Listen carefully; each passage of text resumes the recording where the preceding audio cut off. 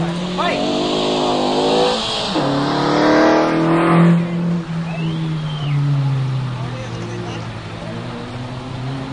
do you want the outside ball? Because I drive them every day, that's why.